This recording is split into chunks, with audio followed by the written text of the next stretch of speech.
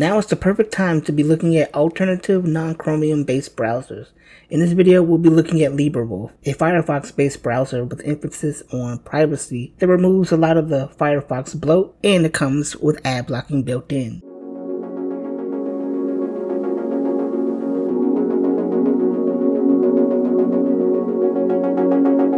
So here's the website. If we go to installation, we see that LibreWolf is available for many different platforms. I'm going to go to Windows and we'll see there's multiple different ways that we can install LibreWolf. Probably the easiest, most common method is with the manual installation. You can download the installer. You can also use Chocolatey, which we looked at in the last video to install LibreWolf, as well as Winget. If you choose a manual installation, you will get this Windows protection warning here as Windows does not recognize the publisher of this executable. If you click on more info, you will get the option to run the executable anyway. However, I find the best method to install LibreWolf is with Winget, because you will be able to update LibreWolf much easier. LibreWolf does not come with an automatic updater, so whenever there's a new update, you'll have to manually download and install the update. With Winget, you can simply use the Winget and update LibreWolf from the command line. So we'll install LibreWolf with Winget. We'll just copy this command, open our terminal, and paste the command in.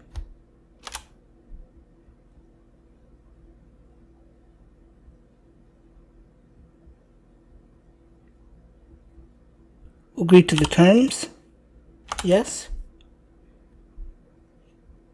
And LibreWolf will be installed on our system. You can see here it's being delivered to us from GitLab. We're downloading version 104. The package has been downloaded and is now installing. Installation is complete. If we search for LibreWolf,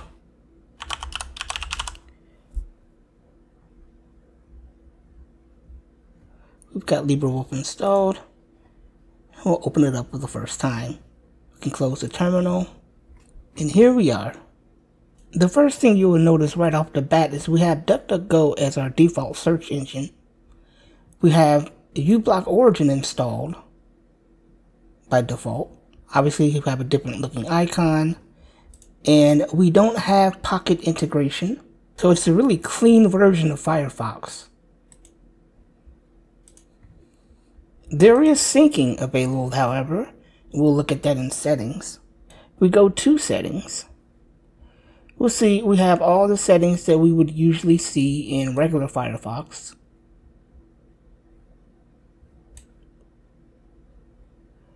But what I want to point your attention to is under privacy and security.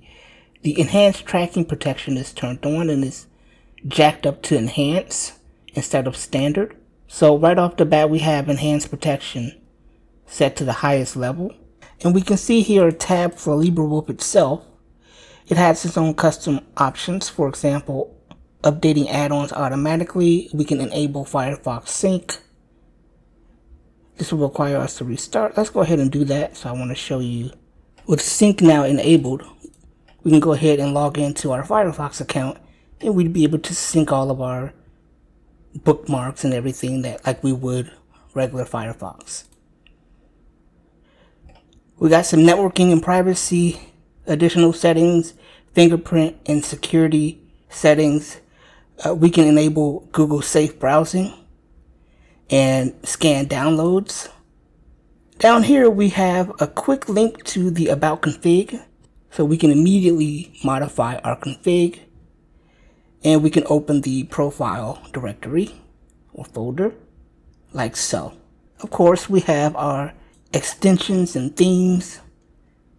We have uBlock Origin already installed, and we can install other add-ons and themes like normal.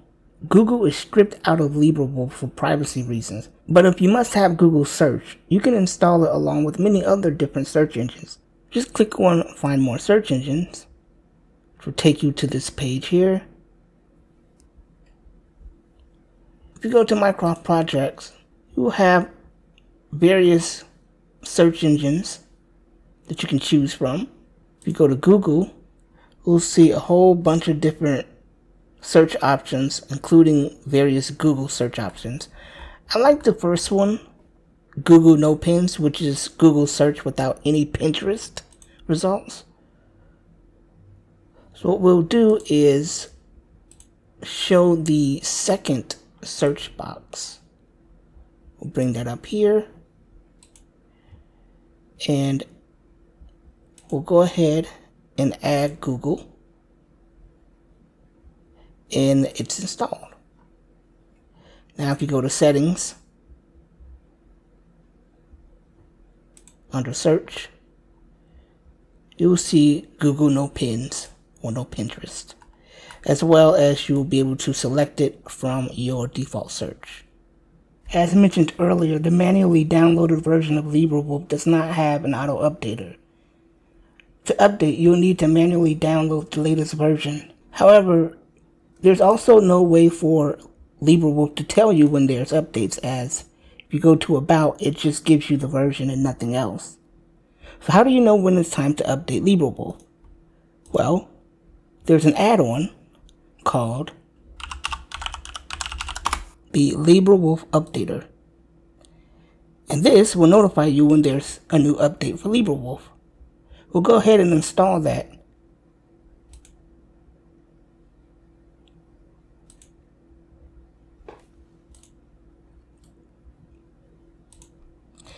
Now, if we click here, we notice there's a check mark which tells us that our LibreWolf is up to date. If there is a new update, we'd see it and it would show up here or we be able to download it. When you install an update, it will not replace any of your settings. It will update just like Firefox would, or it simply updates the application but keeps everything like your bookmarks and settings the same. However, if you've installed LibreWolf from a package manager such as Chocolatey or WinGet, you can simply use the package manager to update LibreWolf. The command for WinGet update is going to be WinGet upgrade. So we would do WinGet upgrade LibreWolf and this will update LibreWolf to the latest version. And we see no update found. So that's updating LibreWolf. So I want to talk about the pros and cons of LibreWolf. I like that it comes with uBlock Origin built in. That's pretty nice, although you could simply install that in any version of Firefox. But it is nice that it comes pre-installed.